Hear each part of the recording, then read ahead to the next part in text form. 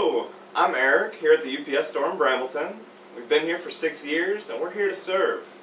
Any printing or shipping needs you may have, I implore you, come see us. Hope to see you soon.